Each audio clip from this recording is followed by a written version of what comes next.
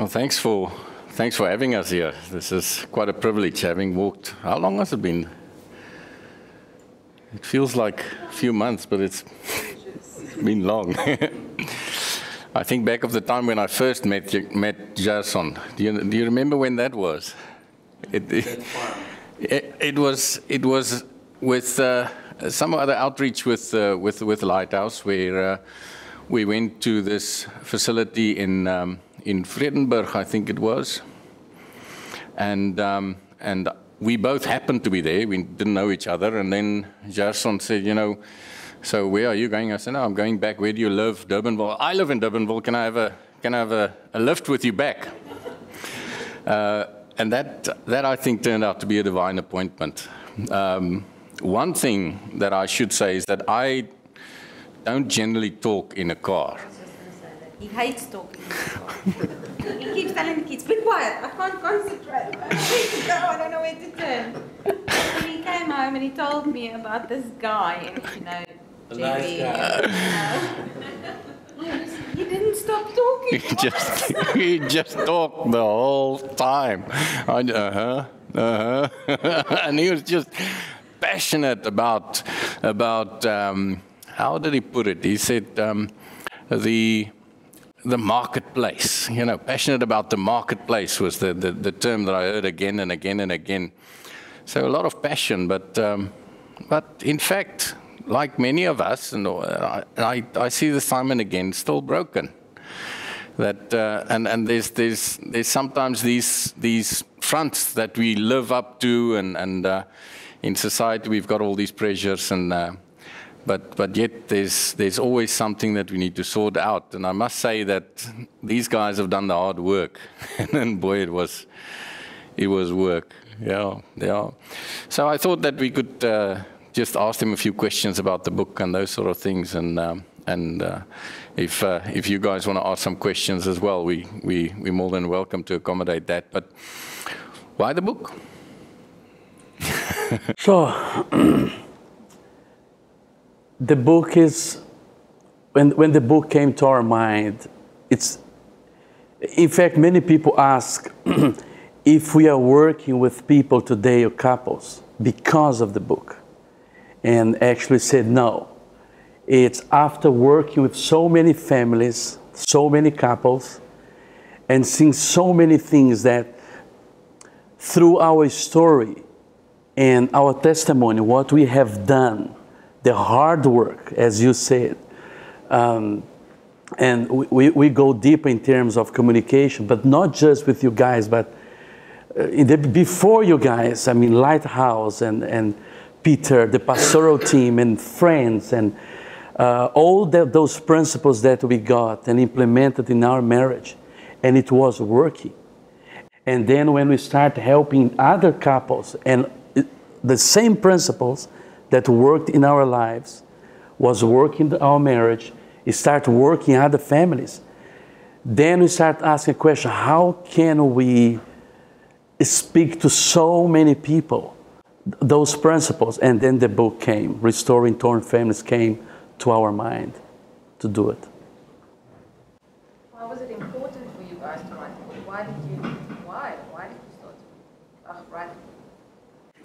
Well, said, we work with many, many couples and many families daily, and we saw the need uh, to write the book to to reach more people because when you see people, when, when you see you, for example, at our at our house we're only reaching you with these principles. So we decided we need more people to hear about this because we know what it's done in our own lives. So. No. And I, and I, think today I'm, I'm seeing something new, you know, and that's, that's um, I mean, we, we just discuss things as friends, you know, and that's just, it's what friends do, you know, you try and help each other out. But, but I'm seeing a huge knock-on effect. You know, it's, we didn't help you, we actually helped the whole family. And uh, Josh said, about about things that he didn't even realize.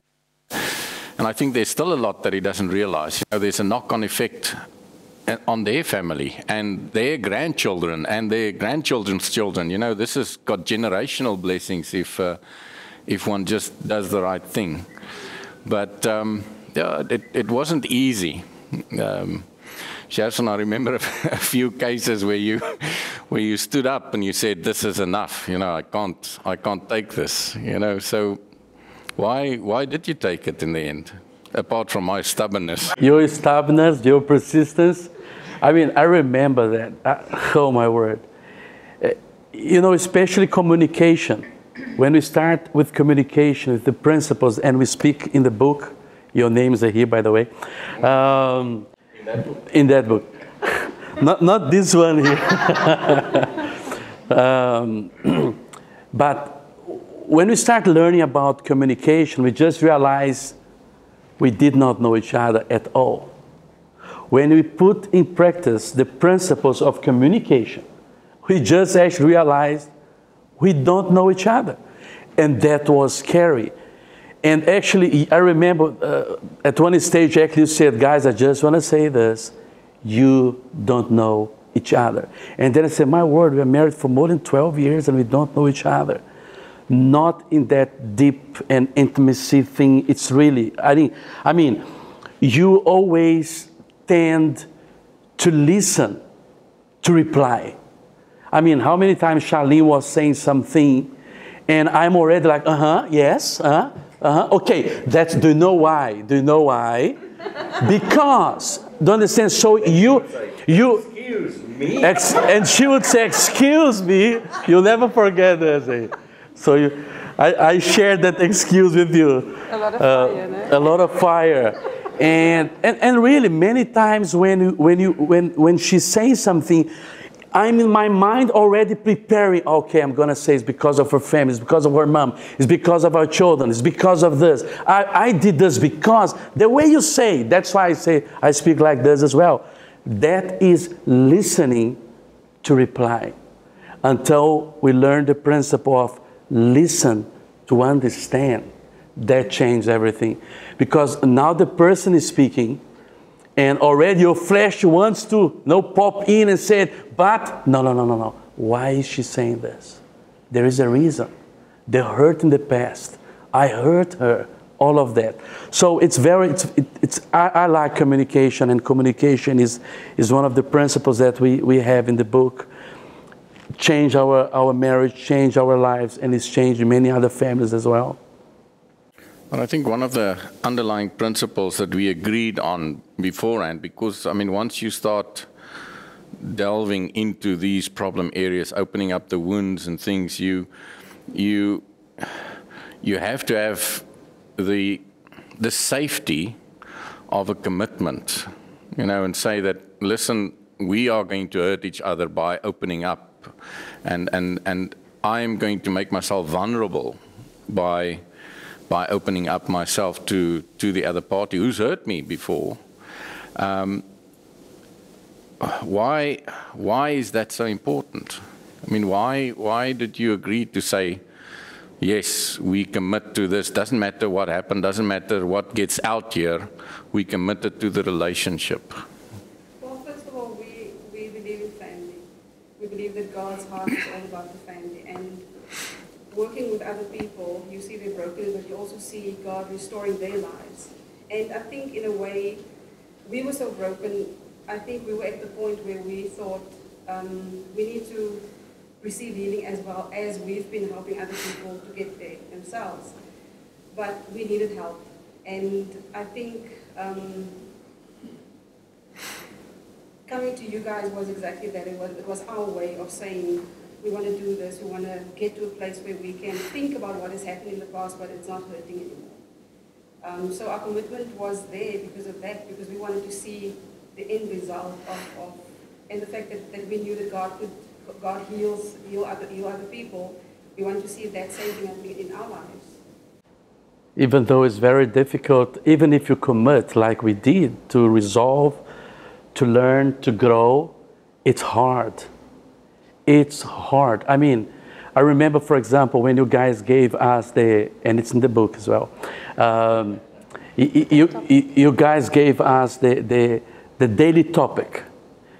And we decide to do our daily topic. Okay, Monday we speak about kids, Tuesday we speak about her family, Wednesday about my family, Thursday about us, Friday we bless the kids, and, we, and, we, and Saturday and, and Sunday we're free, and then Monday again And I mean, it was very difficult for me to start. I mean, I, don't, I did not know how to start, how to say, just to say, uh, okay, let's, let's talk about our kids today. Very, very difficult, very hard. And Charlene, of course, she started. She has to, to, to, to start the thing. And, but later on, we, we saw how amazing was this.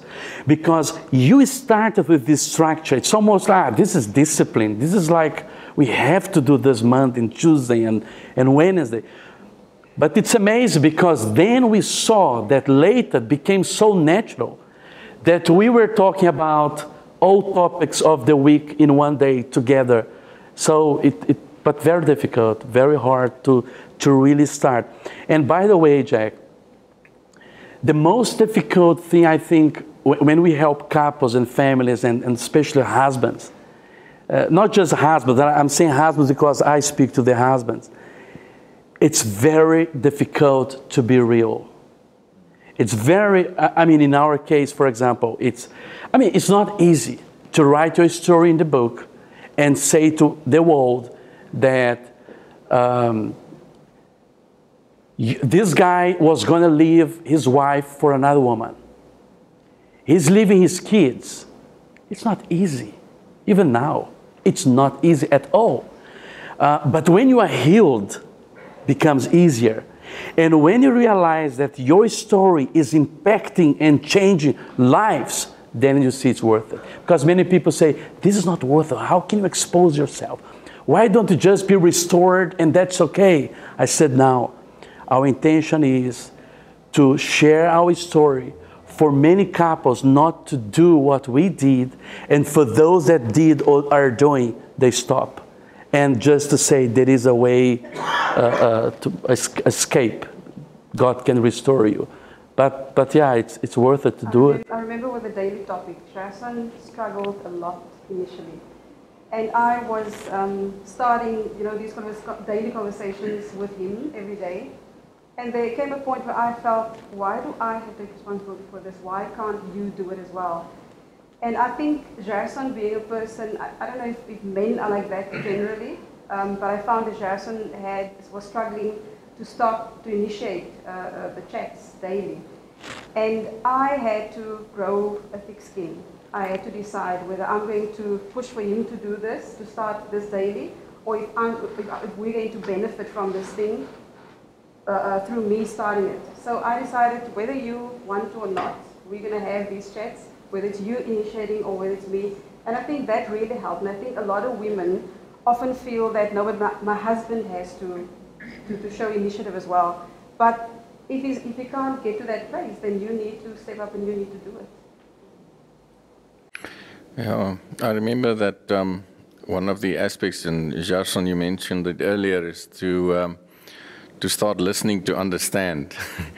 and I always wondered how you experienced that, um, that when we gave Charlene the, uh, the wooden spoon. how, uh, how did you guys... Uh... Talk about the wooden spoon. They would just... Stop, stop, stop, stop, stop, time out, stop, everybody quiet. If you've got the spoon, you may talk. If you do not have the spoon, you need to be quiet. so they were passing the spoon to Frodo. And then. Say, no, you don't have the spoon. Be quiet. She's talking now. Yeah, and I think that then you can hand over. What we said is you can hand over the spoon once you felt that the person has understood. So you keep on saying the same thing, and when they when they get it, finally get it, and Gerson, you took a time to get it.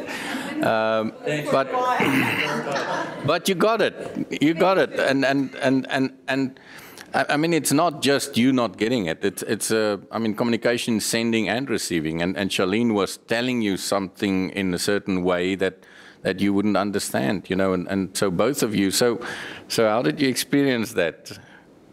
I think, I think it only becomes difficult because both wants to be right. I am right. This is how I see it. You don't understand me. Uh, this is this is how we should be doing and whatever. And you are speaking Russian, and the person is understand French. And how bad was the communication? So for me, the difficult part with that to listen to understand is when you say, okay, even though I think it's true for me, it's real for me, this is not a big thing because we have we, always say this, but this is not a big thing. Why, why are you saying this? This is so small, you know, that kind of stuff. But not for her. For the other person, this is real, this is a hurt, this is a feeling. And when we discover that, wow, now I got it, it's all about, it doesn't matter if that feeling is, it sounds stupid for me, it sounds small or insignificant, but not for the other person. And when you start doing that, then we, we try to, we, we, we, we manage. And I think it's moving towards that. It's not that I am right and you are wrong, but it's that we are both right. But I want, I want to understand your position of being right. You know, both are Both right. rights with our feeling. This is my feeling. Leave my feeling. Okay. Charlene, what was most difficult for you? I think digging up all the old wounds. Um, when, when everything happened in 2011, I think we went through a phase where we just needed to, to let everything calm down. And that happened for about a year. And then when we eventually got to you guys, um, we, were, we were ready for this, you know? And, um,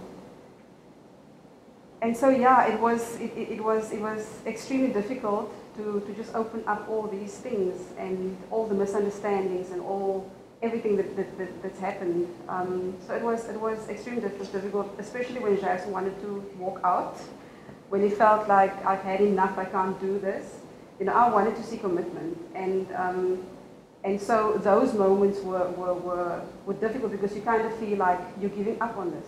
You know, we're in this to, to make this happen and to make this work. Um, and you guys were really used by God because you brought us right back to where we needed to be and we could we could walk that road of resurrection. Jack just ignored him. Exactly. Yeah, Jackson would get up and Jack would just say, I asked you, how does it make you feel? I can't do this anymore. How does it make you feel? so eventually Jackson would just turn around and sit back and oh. Yeah, I, re- I remember. I remember when one day when I stood up and I said, "Jack, we are friends. You're really my friend, but really it's too much, and really I don't want to do this anymore." And then I sit down and this guy start asking me questions as if I did not say that I don't want to do it. and and and and he said, "Okay, so next Tuesday, no Wednesday, next Wednesday." said, yes, next Wednesday we'll be here. So it was like, I mean, for six, I remember, I mean, we, we had other time together till today, but six months, every Wednesday together, it was tough, but we can see the fruits today, the results, not, in, not in, just in our lives, but in other, in other families, in other couples as well. Um, yeah, it's, it, it was great. And I think even, and, and I mean, you might you might attest to this as well. But Yvette and I was also talking about it that as we are discussing things, the examples we used um, are examples from our life, and and we actually resolved things while we were talking to you guys, we had to face our own issues, and and many times when you left, we were like, "What did you mean when you say that?" You know, and it's like, and so, We need to talk. we need to talk. Did not back me. Um, but, I, but I must say, many, many times we were lying there and we were just saying, "I don't know, what are we going to do?" Um, the one or the other just doesn't get it, and it, and it will actually shift. You know, I, Charlene, I remember there were times when you stood up and you said, "I can't do this anymore." So, I mean, what are those those sacrifices that you need to make? I mean, what what did you need to sacrifice uh, to to get this to get to this place? Um, your own ideas, your own way of seeing things, and really, like Justin said, uh, said earlier, that we didn't know each other, and that to me was a big shock. Because we communicate a lot, we speak a lot, but um, I realize that we speak a lot about ministry, we speak a lot about our work, but not about our own lives. And um, Dreams and yeah, and so that was, yeah, that was, that was the, Yeah. You, Jason? No, definitely. I think I I agree with Charlene. Um, we always connect it when it's about business, when it's about ministry, any other thing. But the husband and wife, the, the, the father and mother, the, the relationship, the feelings, um, we really realize that we did not have that at all. And the, the, the worst with that is this that when it happens with husband and wife, um, father and mother, it flows into your kids' lives. If there is no connectivity, if there is no intimacy, if there is no realness, it's gonna, it's gonna happen the same with your kids. I saw, and, and we speak about in the book, where um, our kids, there was a time in our home that there was completely, completely isolation. Joshua in that room, Jesse there, I was in the corner, Charlene there, and until we, we start doing the communication and that thing changing our communication, it changed here, but then it starts flowing into the kids as well. And then the communication was better in our home. And for me, it's worth it. For me, it's worth it because what you guys have done for us, not, I, I mean, one of the principles that we have in this book is the benefits of being connected. And those six months was really being connecting connected with, with people that have godly counsel to give us. Um, I mean, many couples come into our home for counseling, and they will, they will always say, My mother said I must leave him, my teacher, my friend, my whoever. So it's, we must be very careful with who we connect to to share our struggles and, and, and praise God that we have you guys and we speak about this, the importance. I mean, it started even with, with the church lighthouse where the, the senior pastor, Peter Snyman, the pastor team, they were coming into my house and visiting us and trying to get and say, listen, what's, what's going on? What is happening? Other friends, people phoning from Europe, Brazil, Africa, friends. And so it's important when you have, I always say, it's good for a man to have at least two. If you can have three, it's good, it's awesome. But at least two friends where you can go and share your heart. You don't need to, a problem doesn't need to come to your home first for you to go. You can actually go before it, you open the door. And I think you guys had actually uh, an advantage above other couples today because, I mean, you were working in the same ministry to the, the standard today is that you've got husband and wife even working in different ministries, so there's even no connecting point there. Um, and I think to take it just one step further, um, we actually disconnected from God as well. You know, we think we know Him, etc., etc. But it's not. It's not about the words. It's not about what you say. And and and you know, you said we we talk a lot, but we don't communicate. You know, so that communication, I think, is is lacking. And um, I mean, the whole um, I never knew you. I mean, you all know that, that, that verse in the Bible, you know. Um, I think that's real. We don't know each other, and we don't know God, and He doesn't, he doesn't know us. Um, so, how do we make this then practical? Um, in, in terms of a book because now you don't have somebody that you can go and connect to. You connect it to a book. So, is there practical things in, in, in how people could address this then in their lives? We, we actually, in the book, actually, we, we, we try to be very practical. Even we give a lot of steps where people can do it.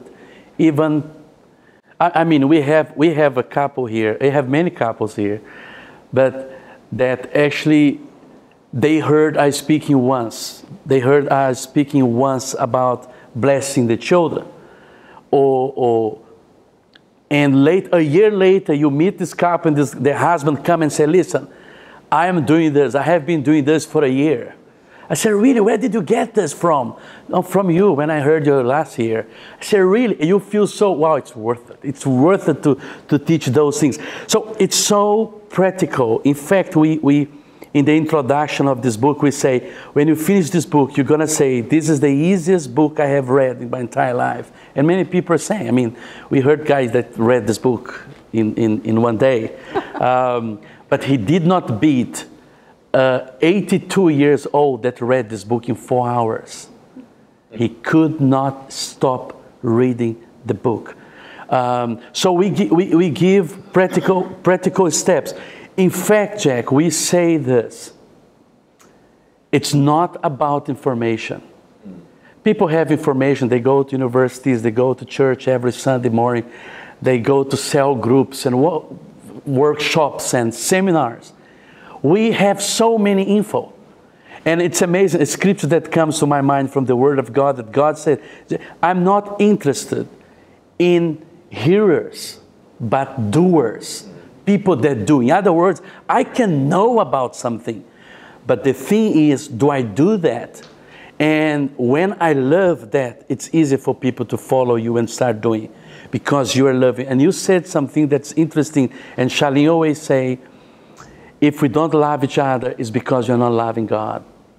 If we don't respect each other, it's because we are not respecting God.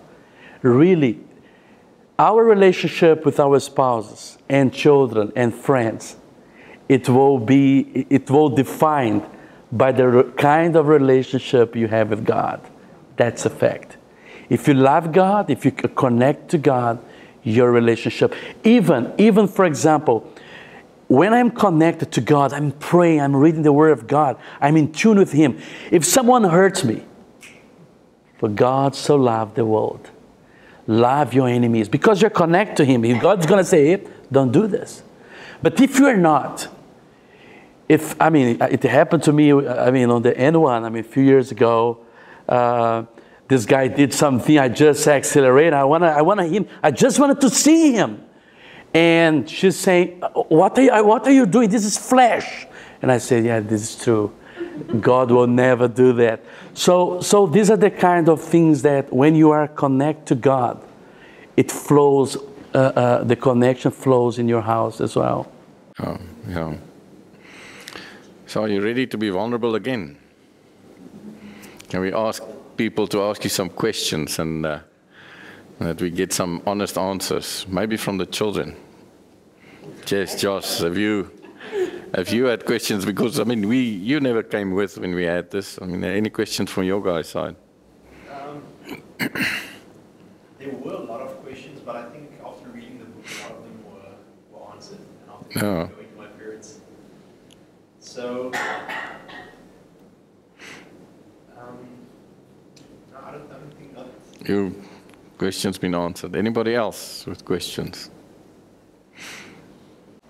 If I, if I may, not specifically uh, to anybody, but uh, just generally to the floor, I think uh, uh, Joshua, you mentioned uh, something related to, to Jack about uh, friend, friendship and, and having to deal with issues and sometimes even having to make yourself opening your- up yourself to, to someone else, which I personally, and I think Charlene would also say that as, as men, we often probably find ourselves to be, you know, we need to be the strong person and we tend not to show the soft side, I suppose, the feelings that's what's forthcoming.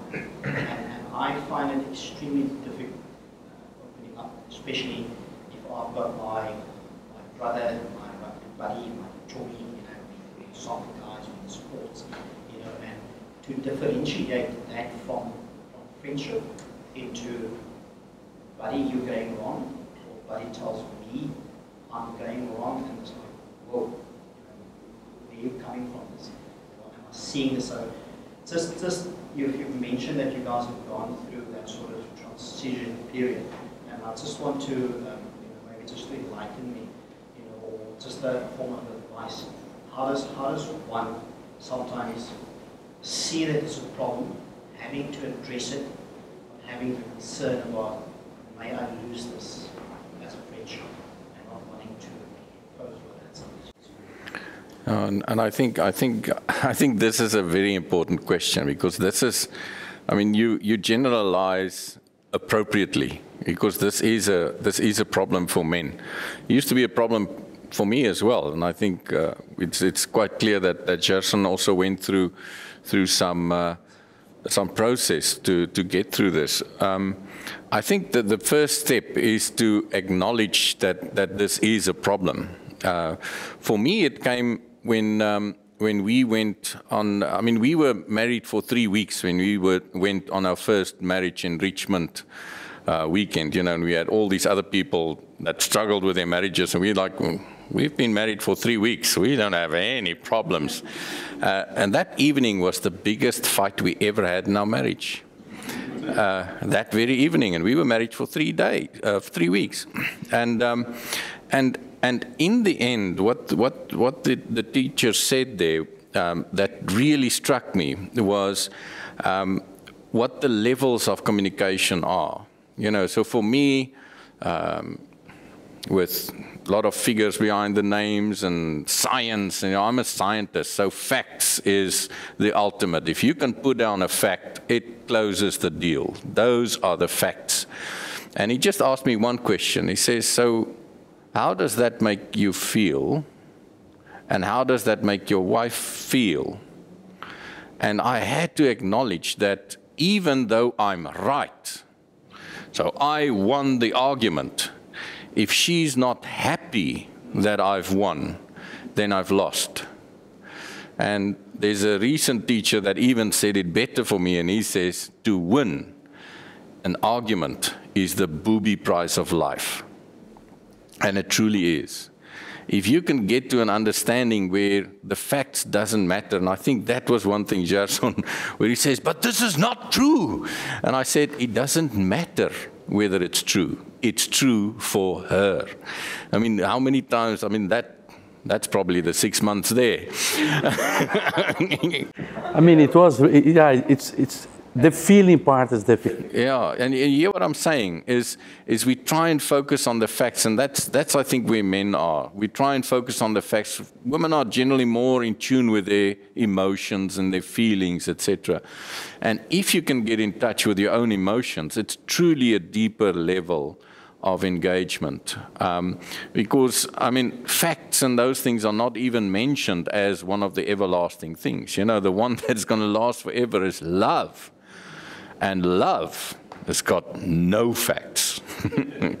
and, and that's truly where you want to move towards, is can you get to that love that is beyond yourself, so much so that you're even willing to sacrifice your facts and yourself for the sake of the other. And we actually saw that happening. And the last person to do that was actually Charlene. And it's when she gave up what she was clinging on to when the breakthrough came and everything changed. And, and it, it, it, you can actually see it happening in a person. And her words were, okay, I'll be vulnerable, I'll give you another chance. That was her words. And, and, and that must have been very difficult, but I think that's, that's where we need to get to. And once you realize that and you move beyond the facts, because what happened has happened. You know, you can't change that. How does that make you feel? Jason, if you hear that word again, you're going to run. If I say, how does that make you feel? No, now we ask this question often to couples. How do you feel? it's a nice thought. Yeah. But you mentioned something about friendship in terms of open as well with someone. Um, it's very, it's, it, it, how can I say, you have all kind of friends, but there are many friends that they are not the kind of friends for you to open your life. For many reasons, this happened to me when we struggled. Others will even say, I think you should get divorced. I think God doesn't hate divorce like people say. I think you really should leave your home. And I'm talking about Christians. So, and they're friends, or friends that will listen to you and will hurt the other. And you need to find people that they're not going to be nice friends, but good friends. Good, I mean, nice friends, they understand, no, it's fine, man, you can make those mistakes again. That's all right. That's nice friends. Good friends will say, You're wrong. I cannot back you. And I heard this for some friends. And when I went to them, for example, we found that kind of friendship. That there wasn't side. They did not take side. And in fact, when I felt they were hurting me badly, And when they start, like, in my opinion, hurting Charlene, I was like, that's good. That's, you see? You see? Someone understands me. But then I realized that no, they, they are not working towards me or her. They are working towards our relationship. So that's the kind of friends that you need to, to get. And, it, and, it, and it's funny, that kind of friend actually should not take your side, but should show you that you need to sacrifice yourself. And when you get there, you know, and I've got very, very few such friends that will say, well, what I think you should do in this situation is, and then it, it's, it's counterintuitive. And when they say it, you, you just go against it. Think about it for a while and you find out that you know, they're actually right. You know, because, because it is about self-sacrifice. And what you realize is once you've sacrificed yourself, you gain everything. Um, and I think that's, that's your experience and, well, and, yeah. and I think even before looking for people, um, there, there is one part of, actually, I, I mentioned what led me for that behavior. There were many things, but there, there wasn't a specific thing.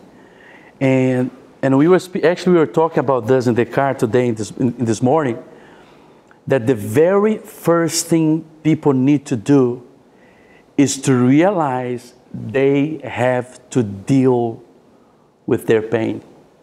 They have to deal with something that is out there that happened in the childhood, that happened few years ago, a hurt, something that I don't want to touch, that I don't want to talk about it.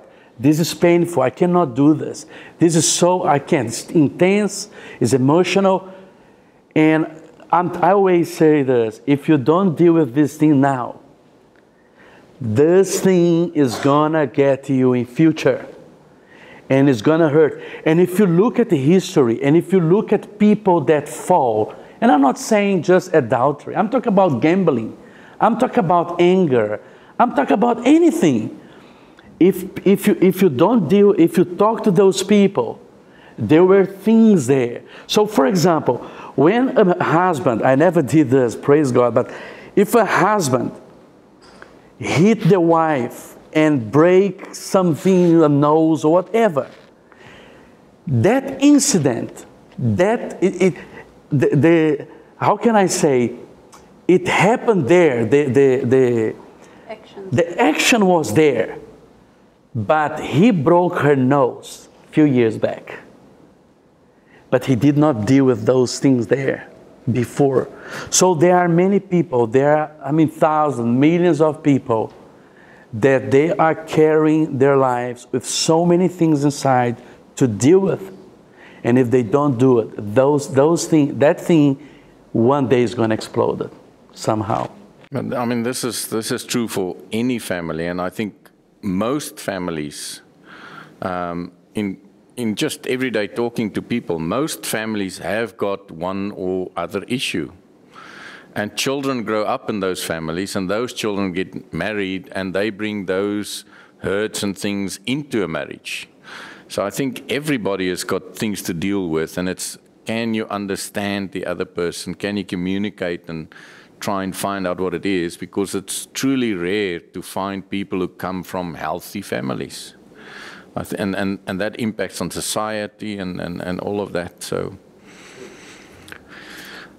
that's all my questions. Do you have any other questions that you would like to? Uh... Jason gave me a list. I should go through. The first one on the list was, what was it you said? Like, like, I'm a nice guy. Tell them I'm a nice guy. You were a nice guy. You're an awesome guy. We love you.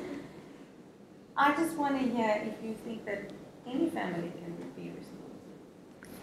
Absolutely. Um, like I said, we've seen so many people being restored, and many of these couples come to us and they, they, they arrive at our house at a state of total despair. The husband is leaving, the wife, vice versa. And the first, the initial feeling is, how do you handle this? How do you do this? But first of all, um, we tell them it's God that does it. So God will restore. Um, so yes, uh, uh, um, absolutely. You, you, it's, it's a matter of really, really trusting God in these people's lives and taking them through that process. So any family who's open and who's willing and is committed to that process can be restored. With any problem, with any situation, I really believe God can restore. And I think just, God is just waiting not, on the other side. Do you want? Um, coming back to, okay, I want to deal with this. I'm going to open up, I'm going to deal, and I want to be restored. And for any problem, gambling, pornography, anything, anyone can be restored. I think the key is really to when because you get to a point where you feel I like Jason and we felt like that. We can't do this. It's not a great feeling. It's not nice to open up uh, all these things. But you need to really push through at, at, at the times and, and the days and the moments where you feel like I've had enough. Um, it's better to just uh, forget about all these things and not deal with it. Pretend they're not there. Um, that you need to actually force yourself. And speaking about accountability and having people around you, if you have people around you that can can, can tell you continue on this in this process, Yeah. that is an amazing thing. That is something that you will see Yeah. and you will reap the benefits of that. And And, I just want to say this about restoration. When, when restoration means to give back, to bring back to the original form. Uh, in other words, if you, if you have an accident, you take to the panel beater, he's going to paint. He's going to change everything. And if you, you show your car and say, I just had an accident, look at the picture. And now you look at the car. So they brought, they restored the car. But the amazing thing is when God restores is different. When men restore, it just brings back to the original form. When God restores, He adds. You can see throughout the, throughout the Bible, the Word of God. Job, he lost family, he lost everything. And the Bible said that God restored, but He added more. And I can see this in my family. God restored our marriage, but He's restored, He added so many great things that, it's, that is happening in uh, the dynamic in our house. Yeah. Excellent. Well, thank you for your willingness to uh, to do this. I think the book is great, and that um, we pray that it impacts a lot of other lives as well. Awesome. Thank you. Thank you very much. Thanks.